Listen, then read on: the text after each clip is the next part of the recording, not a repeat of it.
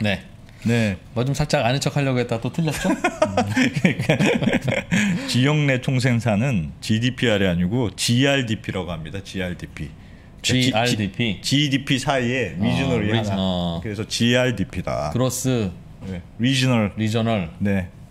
domestic pro, product. 음, 그래서 GRDP. 지역 GDP고 네, 그건 지하, 지역 GDP고 유럽에서 하는 건 GDPR. general 네. data pro, protection protection regulation. 조금 차이가 있습니다. 영어와 경제를 한 번에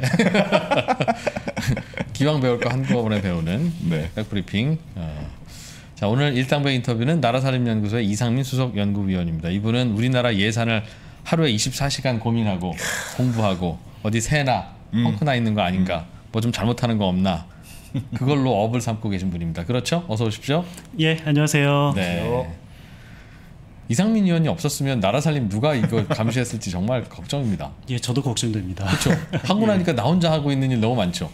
그러니까 이게 뭐 소위 말하는 노가다를 많이 해야 돼요. 아. 음, 저는 뭐 그냥 노가다 하는 거는 재미가 있어서 하는데 음. 굉장히 똑똑하신 분들은 노가다 같은 걸 잘 안 하시잖아요. 네. 어. 아 그래서 하기가 좀 어려운 연구이기도 하고. 어렵지는 않은데요. 네. 그냥 아. 이 똑같은 일을 계속 반복해서 분석하는 그래야 되니. 필요한 계속 지켜보고. 있으신 거예요. 계속 지켜보고 이놈들 이상한 짓 안 하나. 예, 그게 제 직업입니다. 아, 그래서 오늘은 오늘은 이번에 우리나라 추가 경정 예산안이 만들어지고 또 집행이 되고 있죠. 예, 어 근데 그 과정에서 아 이건 좀 이상해 이러면 안 돼라고 생각하는 포인트가 있으셨다고. 예, 맞습니다. 네, 그 얘기 좀 들어보려고요. 그 2차 추경, 그러니까 이, 이 올해 2차 추경이 요 한 열흘 전 국회를 통과를 했어요. 예. 국회를 통과를 했는데 뭐 항상 언론들의 관심은 뭐 이런 소위 말하는 뭐 재난지원금 같은 네. 이거를 뭐 80%에게 줄까 뭐 다 줄 것인가 뭐 여기에 대해서 한참 논쟁이 많았고요. 그래서 결과적으로 뭐 80%에서 조금 더 준다. 그래서 뭐 88%를 준다. 뭐 이런 식으로 해서 통과가 됐는데요. 그래서 문제는 조금 더 많이 주니까 많이 주면은 그럼 국채를 더 많이 발행하나 이런 생각을 하는데 그러니까 그돈 어디서 났냐? 그렇죠. 예. 어떻게 어떤 거를 더 주었으면은 무엇인가 감액을 했을 거잖아요. 그렇죠. 예, 도대체 그렇죠. 무엇을 감액했는지는 언론에서는 전혀 나오지 않아요. 아니 그냥 감액 안 하고 그 재난지원금 주는 것만큼 국채를 더 찍어서 갖고 와서 준 건 아닙니까? 그게 아니에요. 원래 정부 계획이 국채 2조 원은 갚겠다. 국채도 갚고 네. 그리고 재난지원금도 주겠다라는 게 네. 원래 정부 계획이었어요. 돈은 어디서 나서요? 돈은 세수가 올해 풍년입니다. 아 생각보다 많이 거치는 예. 이 세금으로 그렇죠. 세수가 너무 많이 거치니까 재난지원금도 주고 국채도 갚겠다라고 예. 했는데 재난지원금을 좀 더 줘야 된다라고 하니까 네. 그럼 원래 국채를 갚겠다고 기재부가 약속한 금액이 2조 원이었거든요. 음. 그럼 2조 원까지는 못 갚고 그냥 한 1조 원만 갚겠다가 아니라 2조 원 약속한 금액을 다 갚았어요. 음. 어, 그것도 다 갚고. 예, 2조 원 다 갚고 그리고 재난지원금도 늘리고 그러면 어디선가 감액을 했어야죠. 아 그만큼 세금이 넉넉하지는 않, 않으니까 예, 그렇죠. 음. 근데 얼마나 감액을 했어야 되는 건가요? 감액을 2.6조 원을 국회에서 증액을 했거든요. 네. 근데 2.4조 원 정도 감액을 했으니까 뭐 거의 뭐 증액한 금액에 맞춰서 감액을 한 거죠. 증액을 했다는 건 재난지원금 좀 더 주기로 했다. 예, 그렇죠. 그게 아. 늘린 거 80%에서 88% 뭐, 뭐 그렇- 늘리고 됐든. 그게 한 예. 2.6조 원 정도. 늘리고. 예, 맞습니다. 음. 그럼 2.6조 원 정도 증액을 했는데 네. 2.4조 원 정도 감액을 했으니까 네. 뭐한 0.2조 원 정도니까 거의 정부 원안 에서 음. 한 0.2조 원밖에 안 늘은 거죠. 아, 그럼 어디선가 깎은 거네요. 깎은 거. 그렇죠. 예, 음. 2.4조 원. 그 어디서 어디서 깎았냐가 중요하네요. 어디서 깎았냐가 중요한 건데 안타까운 거는 언론에 전혀 어디서 깎았는지가 단 하나의 언론도 보도를 아, 안 했어요. 이번에 그 재난지원금 주기 위해서 우리는 예. 뭘안 쓰기로 한 거냐? 예, 그렇죠. 예, 음. 예. 근데 왜 언론에서 보도가 안 되는지는 뭐, 뭐 아시는 분은 다 아실 텐데요. 네. 기재부 보도 자료에 포함이 안 됐기 때문에 언론에 보도가 안 된 거죠. 그래서 뭐 기재부는 보도 자료에 포함하지 않은 이유는 뭐 뭔가 별로 알리고 싶지 않았던 거겠죠. 아, 드- 아, 들어보니 맞는 말씀이네요. 어딘선가 깎긴 깎았으니까 증액을 했을 텐데. 저는 깎였는지도 몰랐어요. 그러니까 어. 세금이 넉넉하게 거친, 거쳐서 예. 그 돈으로 재난지원금 주고 더 남아서 국채도 갚는구나. 음. 어, 참 세금 많이 거치나 보다.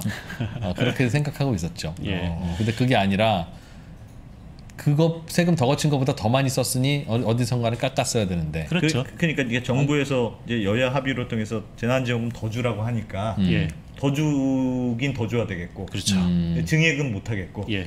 그러니까 그냥 야 이거 깎아 여기 여기 깎아 이게 있었는데 뒷단에는 그렇죠. 음. 그게 뭐냐 예. 그 뭐, 뭐예요 그게 저희 해리 키위님께서는 국방비 깎았다고 기사 나왔던데요.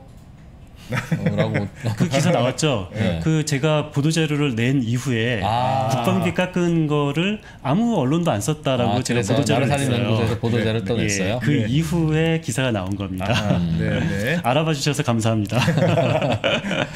아, 국방비를 깎았어요? 국방비를 많이 깎았어요. 그 방사청 사업을 많이 깎았는데요. 음. 네. 뭐 피아 뭐 식별 장비도 깎고 F35 그 구매 사업 예산도 깎고 그래서 전체 깎인 예산 사업 수 중에서 절반 이상이 음. 방위사업청에서 깎였어요. 어, 왜 방, 방, 무기 사고 전투기 사는 걸 미루고 안 샀다? 그렇죠. 그러니까 이게 왜 깎였는지 물어보셨는데요. 네, 네. 저도 모르고 아무도 몰라요. 왜 모르냐면은 이게 네. 그 정부 원안에 포함되어 있지 않았거든요. 그러니까 음. 정부가 국회에 제출할 때 우리 예. 이 2차 추경에 돈을 마련해야 되니까 여기에는 돈을 더 쓰고 여기에는 돈을 깎자. 음. 그 방사청 돈을 깎자라고 정부가 국회에 제출하지 않았어요. 그러니까 정부가 국회에 제출한 그 정부 원안에는 네. 분명히 방사청 사업이 포함되어 있지 않았는데 근데 국회를 통과한 곳에서는 방사청 사업이 대폭 감액된 거예요. 대개는 정부가 추경안을 만들어 오니까 그렇죠. 어딘가에서는 깎아야 됩니다. 예. 까지는 보고서에 올라옵니까? 그렇죠. 원래 그 정부가 그 비- 예산을 편성하고 음. 국회가 예산을 심의하는 거잖아요. 네. 국회가 심의한다는 얘기는 뭔 소리냐면은 정부가 편성한 예산 중에서 이건 너무 적어 좀 증액하자 또는 음. 이건 너무 많어 감액하자 어. 이것이 바로 국회 예산 심의권인 예, 거잖아요. 예. 근데 음. 국회 예산 심의를 하려면은 정부가 예산을 편성해서 국회에 제공을 해야 돼요. 왜냐하면 네. 국회는 예산 편성권이 없어요. 음. 그래서 국회는 예산을 만들지 못하고 네. 예산은 심사만- 정부가 심사만 하고, 국회는 맞습니다. 심사만 하고. 대한민국 헌법에 따라서 그렇게 됩니다. 배, 대한민국 배놔라 감 빼라 이것만 어, 이것만 하라는 있고 게 대한민국 네. 헌법에 어, 따라서 상 차리는 건 기재부가 해온다. 예, 반드시. 맞습니다. 예. 그런데 기재부가 국회에 제공한 상에는 네. 이 방사청 사업을 삭감하자라는 것이 없었어요. 음. 그런데 국회를 통과한 것에는 방사청 사업이 대폭 삭감이 된 거죠. 아니 그, 그 그 게 잘 이해가 안 가. 지금 음. 지금 하신 말씀. 이게 이해가 안 가는 게 정상인데 이해가 네. 되면 비정상인 어? 거고요. 정상이 사실 정상이야. 전 정상. 어. 아니 그, 그 무슨 말인지 모르겠어요. 그러니까 이게 제가 조금 더 구체적으로 설명을 드리면은요. 네. 그러니까 원래 절차라는 게 이래요. 그러니까 국회가 이 예산 편성안을 내놓으면은 음. 이 상임위, 그러니까 방사청 사업 같은 경우는 국방위겠죠. 국방위에서 먼저 예비 심사를 해요. 그래서 그리고 국방위에서 예비 심사를 한 거가 예결위로 넘어가요. 그래서 예결위가 본 심사를 하고 음. 예결위가 땅땅땅 하면은 그거를 본 그 국회 본회의, 네. 본회의에 올려서 땅땅땅 하면 이게 최종 완전히 음. 확정이 되는 거거든요. 네. 예. 그런데 국회에 넘긴 정부의 예산 추경안에는 방사청 사업이 그 포함되어 있지 않았으니까 상임위인 국방위 심사가 없었어요. 그 상임위가 열리지도 않았어요. 국방위는. 국방위는 예, 국방위 어, 열리지도 않고 국- 그리고 예결위 국방에서 깎을 일이 없으니까. 그렇죠. 예. 국방위 예산 사업은 아예 정부 원안에 포함되지도 않았으니까요. 그래서 그렇다면 국방위 상임위는 열리지도 않았고 음. 그렇다면 예결위에서 논의가 됐나? 뭐 사실 저는 뭐 국회법에는 뭐 맞진 않지만 뭐 저는 그냥 개인적으로 뭐 그 예결위 국회 실무를 한 사람으로서 또 실무는 또 원칙과 좀 다를 수도 있잖아요. 네. 그래서 뭐 국방위에서 만약 심사하지 않은 것은 물론 문제지만 그래도 실무적으로 봤을 때는 예결위에서라도 좀 꼼꼼히 이게 문제를 지적을 했으면은 그래도 뭐이 정도는 가능하지 않을까라고 실무자로서는 그렇게 생각할 수도 있는데요. 네. 더큰 문제는 예결위에서도 이게 논의가 되지 않았어요. 뭘 깎는다 이거는 중요한 거냐 아닌 거냐 깎을 그렇죠. 거냐 말 거냐를 논의를 해야 되는데 예, 예. 예산을 아예 논의조차 없었다. 논의 잠깐만, 자체가 없었어요. 조금만 뒤로 가서. 기재부가 차려 올린 밥상 예, 추경 예산 안에는 그렇죠. 뭘 좀 깎아야 되겠습니다까지는 올라와 있었습니까? 뭘 깎아야 된다라는 거가 한 건 올라와 있었어요. 그 한 건 올라온 게 뭐냐면은 그 1차 추경 때 편성한 네. 그 소상공인한테 돈 나눠주는 요 사업이 있었거든요. 음. 예. 그거가 깎여서 올라왔어요. 근데 이게 무슨 소리냐면요. 이것도 굉장히 재밌는데 네. 그 작년 4차 추, 작년에 추경을 네 번 했고 올해도 추경을 지금 두 번 했잖아요. 예. 예를 들어서 작년 4차 추경에서 이 소상공인들한테 돈 나눠주는 사업이 네. 다 집행 못했어요. 다 왜냐하면은 그그 정확하게 예산 편성할 때 네. 어, 소상공인한테 얼마가 들어갈지를 정확한 통계를 통해서 이것을 예산을 편성한 게 아니라 음. 네. 대강 이 정도 신청하지 않았을까라고 하니까 네. 다못 쓴 거죠. 다못 쓴 거가 네. 올해 본 예산에 들어갔어요. 예. 근데 올해 본 예산에 들어간 것도 또 다 못 썼어요. 근데 그거를 또못 쓴 거가 올해 1차 추경이 들어갔어요. 네. 근데 1차 추경에 한 3조 원 이상 소상공인한테 돈 나눠주는 사업이 있었는데 그런데 또 1차 추경에 들어간 것도 다 못 쓴 거예요. 그래서 이거를 기재부가 한 1조 원 정도 깎고 올해 2차 추경에 소상공인들한테 돈을 나눠주는 사업으로 편성을 한 거예요. 그러니까 밑도를 빼서 윗도를 계속 개는 거가 음. 작년부터 계속 뭐 주, 소상공인한테 소상공인한테 주는 이거는 자꾸 안 타가시더라. 그렇죠. 요거는 좀 빼도 될 것 같습니다라는 예, 게 하나고. 맞습니다. 아, 국, 이, 한 2조 5천억 정도를 깎았다고 말씀 주셨는데. 예, 한 2.4조 원 정도를 깎았는데 그래서 원래 예산에서? 예, 예. 예. 그래서 그 1차 추경 때 편성된 소상공인들한테 돈을 나눠 주는 사업이 국회에서 한 0.9조 원이 깎였어요. 네. 그래서 예. 그거는 다못 썼기 때문에 네. 다 신청을 하지 않았기 때문에 깎인 거고. 깎인 거고. 예. 나머지 금액이 전부 다 방사청 사업이라고 보셔도 되는데요. 그러니까 방사청 사업이 뭐 F-35 구매 사업 등인데 네. 문제는 그래도 음. 21세기 대한민국인데요. 예. 그러니까 방사청 사업이라는 것은 국방 사업인데 그렇죠. 네. 작년에 국회에서 이 통과된 국방 사업을 국회 보고 논의조차 없이 국방 예산을 삭감했다. 이건 아니에요. 그러니까 원래 예산에 있었던 예, 예. 전투기 구매 를- 예산을 그렇죠. 원래 뭐 F-35를 뭐 예를 들어서 뭐 10대를 사기로 했는데 네. 그냥 국회에서 논의조차도 없이 그냥 9대만 살게 이러진 않아요. 그래도 21세기 대한민국이 네. 이러진 않는데요. 그, 그럼 뭐예요? 그럼 뭐예요? 뭔지는 공식적으로 논의를 하지 않아서 알 수는 없다가 제 공식적인 답변이고 네. 비공식적인 답변은 뭐냐면은 실제로 전투기 구매 대수를 깎은 게 아니고요. 네. 그냥 지급 시기만 조절을 한 거예요. 이게 무슨 소리냐면은 올해 어차피 못 쓸 돈이 있거든요. 올해 전투기를 다 못 사요? 그렇죠. 저 다 못 사고 그 돈을 다 지급하지 못하고 남는 요 불용액은 존재할 수가 있죠. 그러면 왜 왜 연초에는 산다고 그랬어요? 뭐 이거 다쓸 줄 알았죠. 다 쓸 줄 알고 뭐 2조 원을 편성을 했는데 네. 근데 알고 봤더니 1.8조 원밖에 못 썼다. 그럼 0.2조 원은 불용이 되는 거잖아요. 네. 근데 이 불용을 언제 인식을 하냐면은 결산 때 인식하는 게 원칙이죠. 네. 그런데 결산 때 인식할 불용액을 음. 이번 추경 때 당겨서 인식을 했던 거가 있을 거고요. 네. 아니면은 올해 뭐 무기 구매할 거를 올해 원래 한 2조 원 지급하기로 했는데 알고 봤더니 올해 한 1.8조 원 지급하고 내년에 한 0.2조 원 지급해도 되는 사업들이 있어요. 네. 사업을 하다 보면 예, 하다 예, 보면 예. 이런 식으로 지급 시기를 조절하는 사업이나 음. 아니면은 올해 결산 때 인식될 불용을 미리 당겨서 불용 금액을 음. 인식하는 거가 이번 2차 추경이라고 저는 예상을 하죠. 근데 뭐 제 예상은 맞을 수밖에 없고 그러니까 왜 맞을 수밖에 없 냐면은 음. 실제로 경제적 실질을 변화시키는 삭감이라는 것은 뭐 상상할 수도 없습니다. 음. 그러니까 국방 예산을 실제로 깎아서 뭐 F-35를 못 샀다. 이거 이건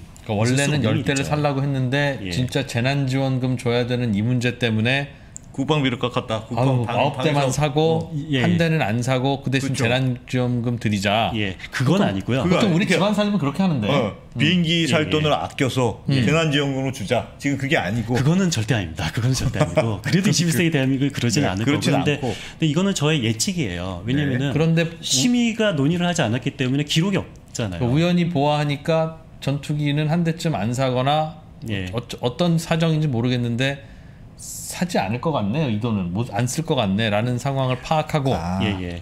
잘 됐네. 그럼 요거 깎고 재난지원금 줍시다 했다는 그렇죠. 거죠. 그러니까 불용을 올해 결산 때 인식할 불용을 조금 당겨서 인식을 한 거다. 그러니까 경, 그러니까 다시 정확하게 구체적으로 말해서 음. 국방 예산을 깎았다고 해서 네. 국방비 시- 실제 국방비 지출이 줄거나 네. 그러니까 국방 하는데 이게 이 걸림돌이 되는 일은 없어요. 음. 근데 이쯤 되면 조금 화나려고 그래요. 네.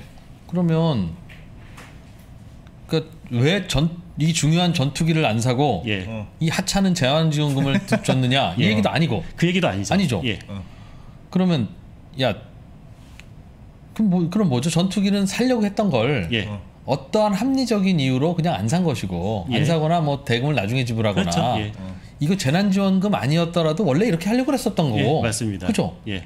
그럼 원래 그렇게 하려고 그랬었던 상황에서 보니까 남는 돈이 있어서 예. 그걸로 재난지원금을 줬다는 건데 예, 예.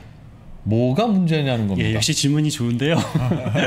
이 두 가지 문제가 있어요. 그러니까 예. 첫 번째, 일단 이 절차가 너무 민주주의적 절차에 어긋난다라는 첫 번째 문제가 있고요. 그러니까 이 말은 무슨 소리냐면은 음, 예산 심의 과정은 뭐 소위 회의록도 속기록이 다 남아요. 네. 근데 예를 들어서 올해 2차 추경을 통해서 우리나라 중앙정부 지출이 600조 원이 넘어요. 음. 네. 그러니까 이 말은 우리나라 GDP가 2천조잖아요. 예. 2천 중에서 2천조 중에서 중앙정부가 쓰는 돈이 600조 원이에요. 음. 그러니까 이 말은 정부가 얼마가를 돈을 쓰는지에 따라서 시장에 굉장히 큰 영향을 주는 거죠. 네. 그렇다면 시장 참여자라면은 정부의 지출이 도대체 어디에서 어떻게 늘고 누가 왜 늘렸는지를 파악하는 것은 음. 어떤 시장의 선택을 하는 데는 굉장히 중요하고 도움이 되는 음. 건데 문제는 정부가 왜 이것을 깎았는지 저는 짐작을 합니다만 실제 네. 국방 뭐 F-35를 덜 구매하는 것은 아니다라고 짐작을 합니다만 네. 예. 공식적으로는 이것은 알 수가 없어요. 왜? 논의 과정이 없기 때문에 논의 기록이 음. 없기 때문에 이것을 공식적으로 알 수가 아니 없고요. 그러면 이 실제로 이 국방 예산이 깎였는데 예. 방위사업적 예산이 깎인 걸로 나오는데 현재 드러난 건 깎였어요 거기서 그렇죠. 수치는 깎였습니다. 수치는 깎였어요. 예. 근데 이게 비행기를 덜 산 게 아닌 덜것 사는. 건 아닙니다. 예. 그거 확실하진 않잖아요. 기록이 확실하지 없- 않아요. 저의 추측입니다. 아. 예, 저희 추측 이건 아무도 몰라요. 왜냐하면은 국회 논의 과정도 없고 속기록도 없으니까 아무도 모르지만 그래도 예산을 계속 들여다본 사람 입장에서 보기에는 아, 실제로 비행기 구매를 깎은 것은 아니다. 그런데 아무도 모른다. 그렇다면 이것이 언제 누가 정했냐라는 건데 예결위에서 안 정했으면 누가 정했을까요? 이거는 뭐 소- 소위 말해서 소소위라고 불리우는 네. 비공식 여야 요 간사랑 요 기재부 요 참여한 그 비공식 회의체가 있어요. 네. 음. 거기서 요 방사청 사업이 깎인 걸로 정해진 거거든요. 근데 어디서 깎았으면 뭐가 문제입니까? 이것이 어, 뭐가 문제냐면요. 그러니까 요 비공식 회의체에서 깎인 다음에 음. 예결위에다는 보고조차도 안 했어요. 그러니까 예결위원이 땅땅땅을 한 거잖아요. 네. 땅땅땅을 할 때 예결위원조차도 방사청 사업이 삭감됐다는 사실을 모르고 땅땅땅 한 거예요. 음. 왜 보고가 안 됐으니까요. 음. 이런 음. 식으로 어떤 절차, 어떤 민주적 절차, 국회 심의 절차를 이 무시한 것은 굉장히 어떤 민주적인 절차에 위배가 되는 것이 첫 번째 이유고요. 음. 저는 두 번째 이유도 굉장히 중요하다고 봐요. 음. 저는 경제적인 이유가 또 있다고 생각하는데 네. 좀 전에 아니 경제적 실질을 변화시킨 거 아니래매. 근데 음. 무슨 경제적 이유가 있어?라고 음. 질문하는데 예. 저는 이거를 소위 말하는 정부의 window dressing이라고 생각을 해요. window dressing? 예, 그거 저희가 뭔지 알죠. 예, 한번 설명해 주세요. 뭐예요? 예, 그 정도는 안 기자가 설명할 수 있지 않나요? window dressing. 그러니까 이건 뭐 저는 뭐 정부 재정을 본 사람이어서 이런 뭐 이쪽 window dressing은 제 전문 분야는 아닙니다만 네. 그러니까 제가 얼핏 듣기로는 window 네. dressing이라는 것이 어떤 뭐 연말 같은데 네. 이 음. 주식 들 보유 현황을 살짝 살짝 조절해 가지고 네. 조금 어떤 펀드 상품은 좀 수익을 음. 좋게 만들고 어떤 네. 펀드 상품은 수익을 나쁘게 만드는 음. 그런 식으로 이렇게 조절하는 걸 window dressing이라고 하잖아요. 화장, 합법적 분식회계. 네. 그렇죠. 네. 예, 합법적 네. 분식회계죠. 음. 그런데 정부가 이 어떤 추경 규모라든지 정부 지출 규모라든지 국채 규모라든지 음. 이런 정부 정, 정부 통계는 시장 참여자가 자기의 선택을 하는데 굉장히 중요한 정보예요. 굉장히 네. 신뢰성 있는 정보를 예. 는데 그런데 추경 규모라든지 국채 규모라는 것이 이런 정부의 window dressing을 통해서 달라지는 거예요. 음. 원래는 이 내년에 있어야 될 이 국채가 올해 당겨서 생길 수도 있고 아니면은 이 추- 추경 규모 같은 것이 전혀 이 정부의 window dressing을 통해서 달라진다라면은 음. 정부의 지출 규모를 통해서 이 민간 경제가 어느 정도 늘어나겠다 또는 위축되겠다라는 것을 시장 참여자가 예측하기에 대단히 이번에는 거죠. 이번만 한정하면 어떤 게 window dressing이 된 거예요?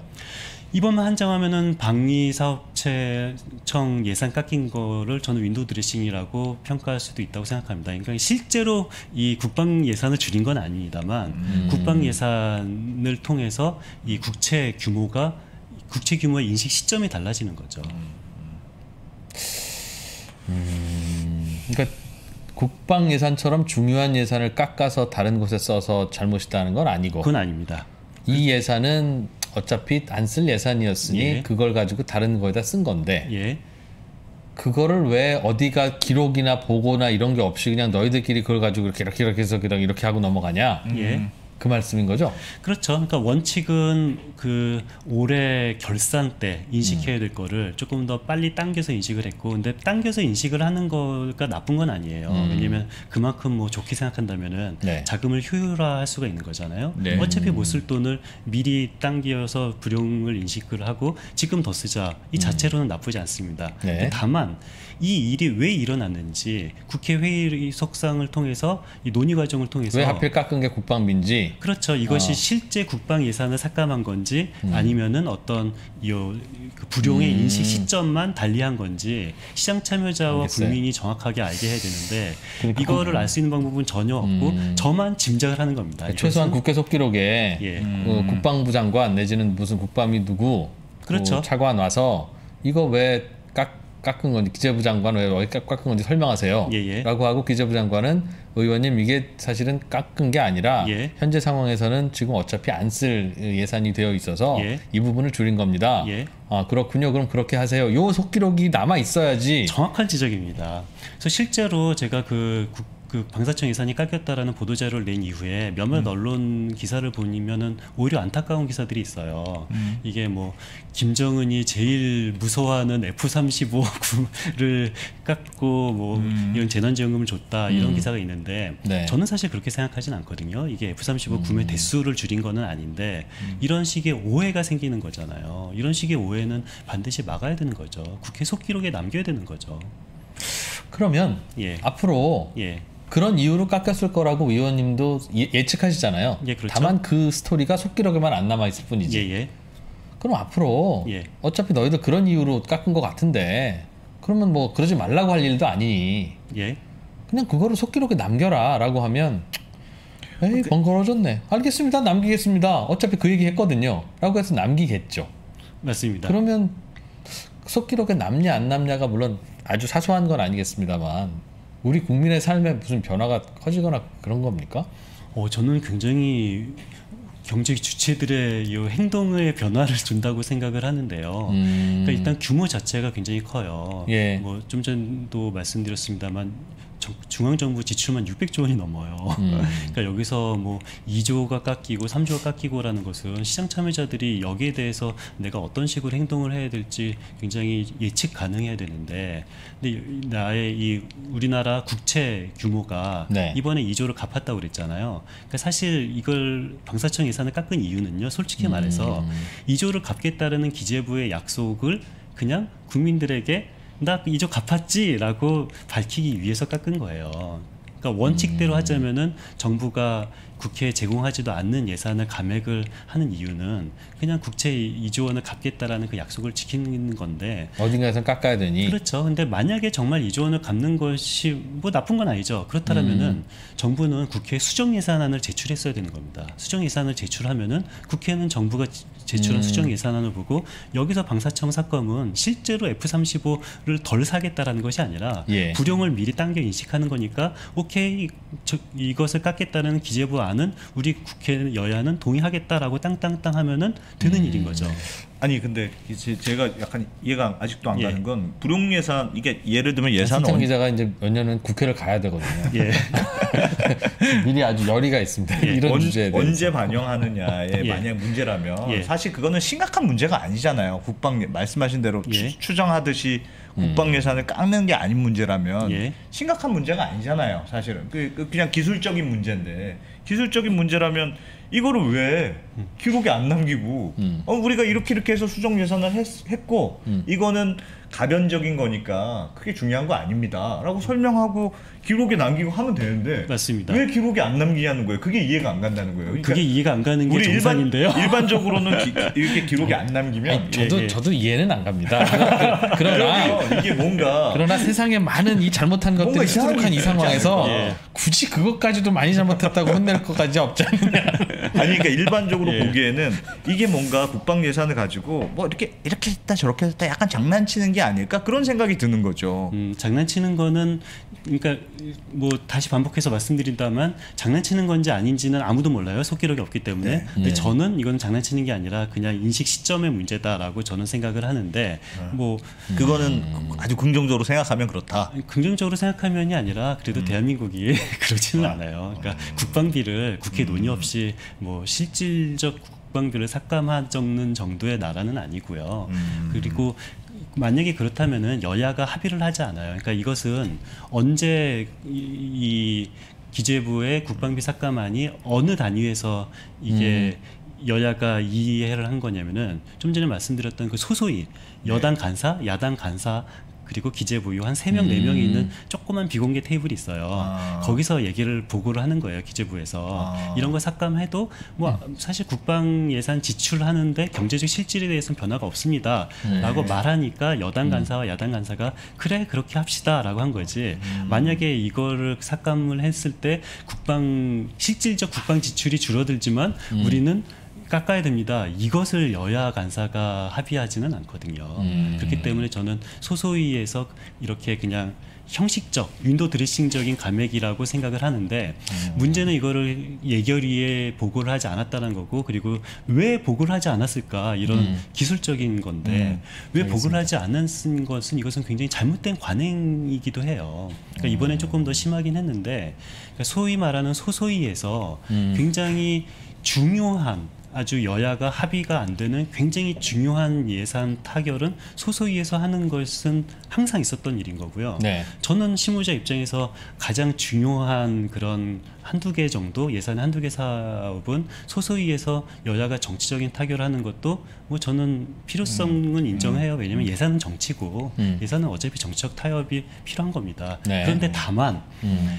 가장 중요한 핵심적인 사업을 여야 간사가 비공개해서 합의하는 것까지는 좋은데 음. 거기에서 음. 같이 별로 비, 이렇게 technical한 이런 계수 조정 음. 정도가 아니라 이런 방사청 삭감 같은 이런 한 2조 원, 한 1조 원이 넘는 규모의 네. 음. 사업이 window dressing이 일어나는 것은 이것은 잘못된 이상한 거죠. 거다. 이유를 어떻게든 밝혀서 그렇죠. 나중에라도 점검하고 싶으면 점검해야 된다. 그렇죠. 그러니까 수정 예산안을 제출했어야 되는 거고요. 그러니까 방사청 예산을 주로 이런 식으로 많이 씁니까? 아니요, 이런 적은 처음입니다. 그러니까 방사청 방사청, 가지고 이런 식으로 쓴 건 처음이고요. 보통 주로 쓰는 거는요, 네. 국채 이자 지급액이에요. 아. 그러니까 국채 이자 지급액 또는 뭐 국민연금 지출액, 공무원연금 지출액이거든요. 그러니까 이게 음. 무슨 소리냐면은 상식적으로 생각했을 때 국회에서 예산 삭감이 이루어졌다. 뭐 국채 이자 지급액이라는 것은 국채를 보유한 사람에게 줘야 되는 이자잖아요. 그런데 국채를 보유 한 사람에게 이제 전화를 해서 죄송합니다. 국회에서 예산이 삭감됐기 때문에 이, 이자를 원래 천만 원 드리기로 했는데 800만 원만 드릴게요. 이럴 수는 없잖아요. 네. 당연히 표시된 국채 이자를 국채 주겠죠. 보유자에게 네. 줘야죠. 국회에서 아무리 예산을 삭감해도 예, 우리나라가 그렇죠. 예. 21세기 대한민국에서요. 예. 네. 그런데도 불구하고 국채 이자 삭감은 자주 일어나는 일이에요. 자주가 아니라 거의 항상 일어나는 겁니다. 아니 국채 이자는 정해질 나갈 돈이 정해져 예, 예. 있을 텐데 원 단위로 정해져 있을 그렇죠? 때라서 예. 그거는 틀릴 이유도 없고 변화될 이유도 없는데 그렇죠. 그러니까 그런데도 불구하고 올해 본 예산에도 삭감되고 1차 충행에도 삭감되고 2차 충행에도 요 국채 이자 지급액이 삭감됐어요. 네. 그러니까 이거는 뭐냐면은 과거 국채는 이미 변화될 것도 없이 원 단위로 가는 건 맞고 음. 올해 앞으로 발행할 국채, 국채 올해 이자? 이자는 예. 정확히 정해지지 않 았죠. 그렇죠. 예. 그런데 음. 정확히 정해지지 않는 이자를 뭐 요즘에 국고채 10년 기준으로 10년물 기준으로 한 2% 정도 되는데 네. 이거를 한 2.6% 정도로 예측을 하는 거예요. 혹시 시중금리 튈 수도 있으니 예, 올해 그럼에도 불구하고 음. 이 국채 전문가 또는 뭐 이- 이쪽 전문가 중에서 10년물 국채가 올해 음. 2.6%까지 갈 거라고 예측하는 전문가는 단 한 명도 없거든요. 그러나 더 기재부는 넉넉하게 잡아둘 필요는 있겠네요. 약간 자칫하면 역력하게 잡는 것은 말이 되죠. 자칫하면 이자를 못 갚을 수 그렇죠. 있으니까. 뭐한 2.1%, 2.2% 아. 정도로 넉넉하게 잡는 것은 이해되는데요. 그런데 국채 같은 경우는요. 국회에서 정확하게 땅땅땅해서 맞춰준 금액보다 이 기금 사업은 아. 정부가 플러스 마이너스 20%는 자율적으로 변경할 수도 있어요. 아, 기금 그러니까 사업은 그렇습니다. 그거는 좀 이렇게 여유 있게 잡아놓고 깎으라 그러면 그런 데서 좀 깎고 한다는 거죠. 아. 그러니까 정부가 어차피 국회 동의 없이도 플러스 마이너스 20%를 바꿀 아. 수도 있는 기금 사업인데도 불구하고 그러니까 예산 사업은 정확하게 국회가 땅땅땅 한 금액을 딱 맞춰야 되는데 네. 예산 사업이 아니라 국채 이자 지급액 같은 기금 사업은 아. 플러스 마이너스 20%는 정부가 유도리 있게 늘리거나 줄일 수도 있는데 그럼에도 불구하고 10년물 국채 2%를 2.6% 정도로 예측을 해서 국회에 제공을 한다라는 것은 음. 국채 국 이거는 이거는 의- 의도적인 거예요. 아. 이거는 의도적으로 이 국회에서 삭감을 할수 음. 있는 여력을 주는 어떤 그러니까 국회의원들이. 넣고 싶은 예산이 있을 테니 예, 그거 안 넣어드리면 자꾸 통과 안 시켜고 뭐 여러 가지 잡음이 많을 테니 예, 그거 넣을 수 있는 여, 정도의 여지는 줘야 되는데 예, 그러려면 예산안 중에 만만하게 깎을 수 있는 항목도 넌지시 넣어놔야 정확합니다. 예. 아. 요거를 그래요. 그냥 그럼 요걸 빼시면 됩니다라고 한다는 그렇죠. 거죠. 그러니까 괜히 부풀려서 넣어놓고 그렇죠. 요걸 빼게 한다. 근데 문제는 국채이자 지급액이나 국민연금 지급액, 공무원연금 지급액이 정확한 수치를 기재부는 알지만 국회의원들은 사실 알 수가 없어요. 네. 예. 그냥 기재부가 이게 뭐 22조다 그러면은 음. 그냥 22조인가 보다라고 네, 하는데 네. 네. 기재부가 이 소위 말하는 소소위에서 음. 22조라고 알고 계시죠? 그런데 저희가 다시 잘 계산해 보니까 한 21조면 될 것 같아요. 그래서 음. 여기서 1조 원을 깎았을 때 경제적 실질을 하나도 변화시키지 않으면서도 국회의 감액 규모를 늘릴 수 아. 있는 윈도 드레싱의 여분을 소위 말하는 그 소소위에서 기재부가 음. 아, 여야 간사한테 제공을 하는 거예요. 거기서 쪽지 예산이 들어가는 거군요. 그러니까 그 재원으로 쪽지 그치. 예산. 그, 그렇지. 그, 어. 그 말이 가장 핵심인데요. 음. 그것이 왜 쪽지 예산이랑 같이 연결됐냐면은 네. 관행적으로 음. 국회가 1조 원을 깎으면은요 국회 증액이 한 1조 원 정도 되는 거고요. 아. 국회가 2조 원을 깎으면 국회 증액도 2조 원이 되는 거거든요. 그러니까 조- 원하는 사업 넣으려면 그 사업에 그렇죠. 들어가는 돈만큼 어딘가에서 깎아야 되는데 예. 함부로 손대면 나라 살림이 난리 나니까 맞습니다. 기재부에서도 여기 여기 요거 띄시면 사실은 되긴 돼요 의원님 한다는 거잖아요. 아, 정확하게 이해하셨네요. 그러면 그건 완전 장난 아니에요. 근데 그 완전. 장난치는 거네. 그런데 저는- 국회의원들 그 넣고 싶은 게 있으면 예. 예산안 만들기 전에 5월, 6월, 4월에 예. 기재부 가서 예. 이거 넣어달라. 그래, 예. 그치. 그래서 설명 설득이 되면 넣는 거지. 왜 그걸 안 하고 기다리고 있다가 이 쪽지 준비하고 있고 예. 기재부는 또 아 저 쪽지 받아줘야 되니까 미리 룸을 만들기 위해서 이런저런 구멍들을 파놓고 예. 그왜 그렇게 하는 겁니까? 기왕 받아줄 거? 아 이거 제가 이 얘기는 안 하려고 했는데 너무 비밀스러운 얘기여서 네, 예. 질문 예리해서 이 얘기를 한다면은요 국회 증액은 어떻게 되냐면은요 국회 그 예결위 심의에서요 증액 심의는 단 1초도 하지 않아요. 그러니까 제가 처음에는 네. 국회 요 심사라는 것은 이 그 기재부가 준 원안을 증액하거나 감액하는 게 국회 심사다라고 그랬잖아요. 예. 음. 근데 실제 국회 속기록을 보면은요, 100% 감액만 있지 증액 심사는 1초도 하지 않아요. 네. 그럼 증액 심사는 언제 이루어지냐라는 네. 건데 소위 말하는 그 소소위에서 전체 감액 액수가 나와요. 음. 네. 전체 감액 액수가 기재부가 아, 국민연금 지급액에서 얼마 깎고 국제이자 지급액에서 얼마 깎아서 전체 감액 액수가 2조 원입니다라고 네. 하면은 국회 증액 액수도 한 2조 원 정도가 되는 겁니다. 음. 그렇다면 국회 증액 액수 2조 원을 여야 그 가 사이좋게 아, 나눠 나눠-. 먹는 거예요, 그냥? 그러니까 예, 2조 원 중에서 이 뭐 민주당은 얼마, 국힘당은 얼마, 뭐 7천억 원, 뭐 그리고 뭐 조그만 정당은 뭐 한 조금 얼마라고 해서 딱 이 민주당 목 전체 총액이 나오고 음. 그리고 저기 국힘당 목 전체 총액이 나와요. 야. 그러면은 국힘당 예결위 간사끼리 그 금액을 나눠 갖고 민주당 예결위 아니 간사끼리래 예결위 위원끼리 그 자기 당에. 배정된 금액을 서로 배분하고 민주당 예결위 위원이 자기한테 배정된 금액을 서로 배분하는 것이 우리나라 국회 예산안 심의 과정의 실질입니다. 야, 그게 제가 얘기했던 대로 그런 게 필요한 사업이라면 사전에 기재부랑 협의해야 되고 필요하지 않은 사- 사업이라면 막판에 집어넣으면 안 되는 건 거니까 그렇죠. 이제부터는 이런 예산의 여유분 괜히 넣지 마시고 예. 그리고 괜히 막판에 쪽지 예산도 넣지 마시고 예. 제대로 시- 심의하고 제대로 합시다라고 하면 그 방향이 옳은 방향인데 그렇죠. 그러면 모든 국회의원들이 자기 지역구 수건 사업을 넣을 방법이 없으니 그냥 형님 그런 소리는 하지 말고 그냥 과거 관행대로 합시다 하고 있다는 뜻이죠. 그런데요.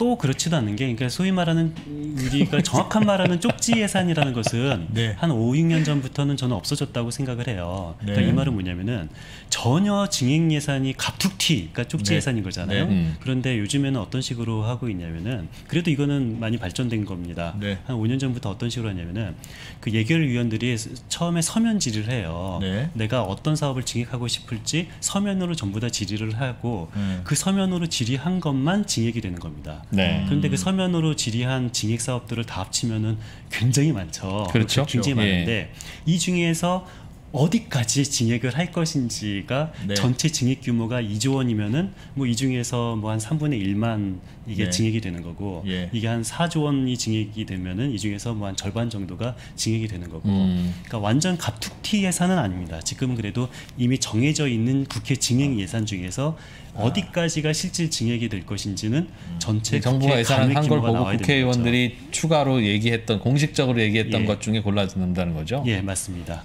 그러니까 공식적으로 그게- 얘기하지 말고 그게 미리 좀 얘기해. 왜 그게 그거 같은데요, 그래도 약간 진화되긴. 한 것 같으나. 그 아까 도 말씀하신 것 중에 야 우리나라가 그래도 21세기 선진국인데 네. 진짜 열대 사야 되는 전투기를 어. 한 대를 그냥 꼭 참고 진짜 필요한데 안 사고 음. 이 예산을 돌렸을 리는 없다. 예 그러니까 원래 전투기를 안 사도 되는 미리 그냥 거품으로 만들어 놓은 예산이건 아니면 올 봄 여름 거치면서 그냥 뭔가 사정이 바뀐 거건 그럴 것이다라고 말씀하셨는데 예. 그럴 거라는 증거는 뭡니까? 예를 들면 증거는 없습니다. 그러니까 그럼 그냥 국방 예산. 깎아놓고 예, 예. 국방부 예산 막속 이렇게 끓이고 있는데 예 이거 사실은 안 사도 되는 겁니다라고 국회의원들 앞에서 설명하면 예. 국회의원들이 무슨 소리야? 음. 어, 작게 5027에 전투기가 몇 대 필요한데 그걸 안 사라고 손 들고 얘기할 분이 어디 있어요? 음. 그냥 넘어갈 수 있는 거 아닙니까? 혹시라도 가정한다면? 그러니까 증거는 없어요. 음. 그러니까 증거는 없고 이건 저도 모르는 게 아니라 아무도 몰라요. 속기록이 없으니까. 네, 그런데 음. 아 그러진 않아요. 그래도 21세기 대한민국이 원래 작게 뭐 계획도 있고 그러니까 그 심사하는 과정에서 예. 국방부 담당자가 갔다 내지는 야당의 국방위 의원이 갔다 모르겠습니다. 야당의 국방위 의원이 어디까지 챙겨볼 수 있는지 몰라도 그랬으면 모르겠는데 글쎄요 잘 근데 모르겠어요. 제가 예. 글쎄요. 제가 그러니까요. 제대로 기사를 보진 않았는데 오다가 살짝 제목만 봤는데 방사청에서 해명 자료를 냈다고 하더라고요. 예. 뭐 실제 뭐 사업 규모를 줄인 건 하나도 없다. 없다? 라고 해명 자료를 냈다라고 제목만 봤습니다. 근데 아마 그 알겠어요. 말이 맞아요. 근데 아니 그러니까 아, 결국은 예. 그러면 이 국제 그 이자 음. 이자 그 여유분 둔 거 뭐 그것도 이게 이번에 방사청 것도 사실은 그게 국채 이자 지급분이 됐든 방사청 음. 예산이 됐든 항상 그런 식의 일종의 이건- 여유분. 여유분 어 소위 여유분을 둔다는 거잖아요. 그러니까 참고서 2만 원짜리 사야 될 거면 엄마 참고서 값 2만 3천 원이에요 주세요 한다는 거야 항상. 항상 항상 일단 그럼 엄마가 어? 뭘 이렇게 비싼 거 사? 좀 깎아봐. 그런데 이런 건 다르죠. 그러니까 비유가 굉장히 좋은데요.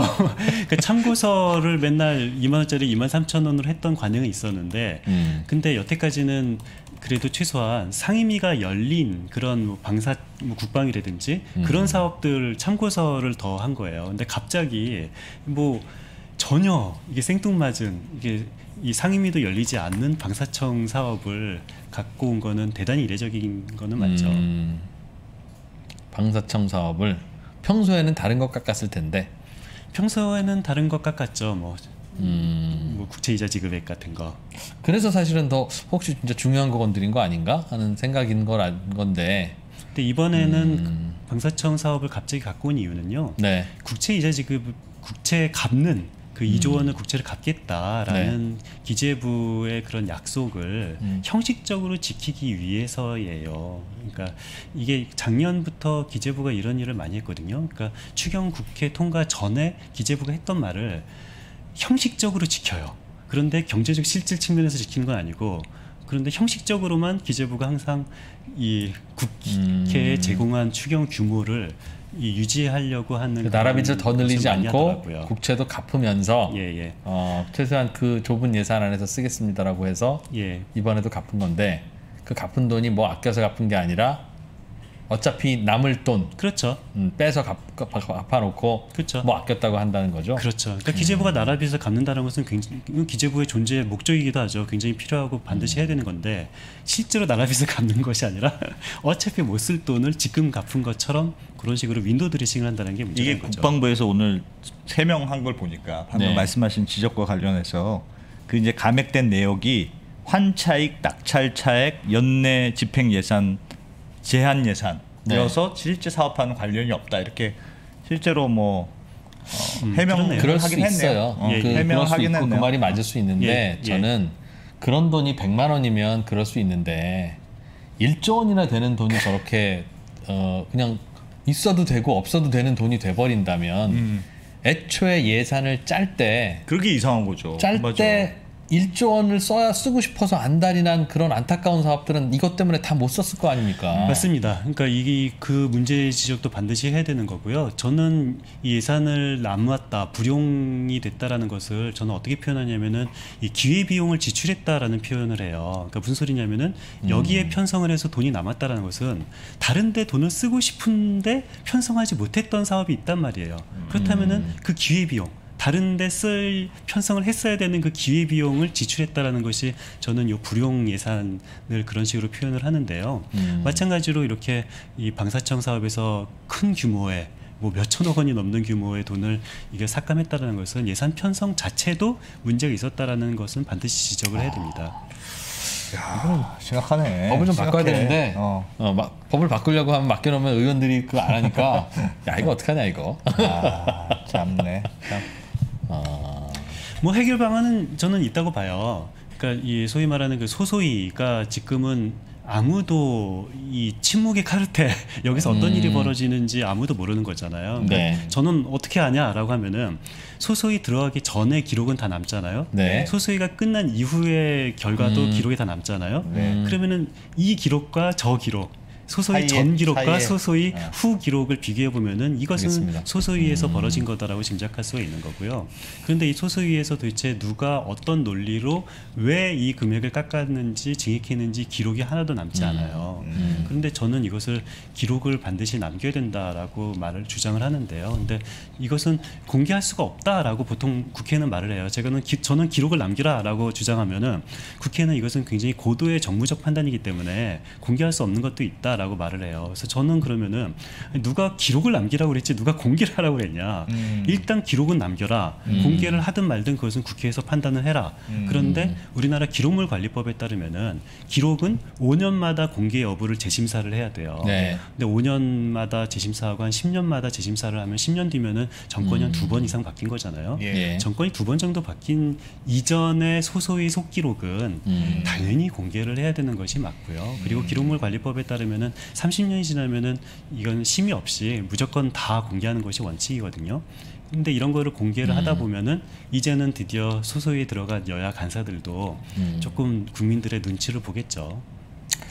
알겠어요. 그러니까 이상적인 방향은 정부가 예산 심의할 때 치밀하게 해서 낭비 없이 효율적인 순서로 예산을 꾹꾹 눌러서 만들고 거기에 대해서는 의원들은 심사를 하되 뭐 지역 구 예산 제대로 심사하면 되지도 않을 그런 예산들 자꾸 끼워 넣는 거 막아야 되는데 음.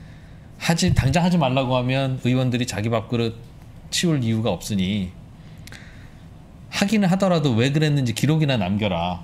그렇게 해야 누군가는 그 기록을 보고 감시도 하고 그렇죠. 이의도 제기하고 네. 그러지 말라고 하고 제도도 바꿔보자고 하고 왜 이렇게 됐는지도 물어보고 그렇게 하지 그냥 블랙박스 안에서 그렇게 됐습니다라고 해버리면 이거는 앞으로도 계속 이럴 거 아니냐 그러니까 이 이런 어, 블랙박스 안에서 벌어지는 예산 거래를 어, 당장 줄이라고 하기까지도 부담스러우니 일단은 밝히기는 좀 밝혀라 최소한 밝히지 기- 못하더라도 기록이라도 기록은 해라. 음, 라는 말씀이시네요 예, 그죠? 맞습니다. 정확한 요약입니다.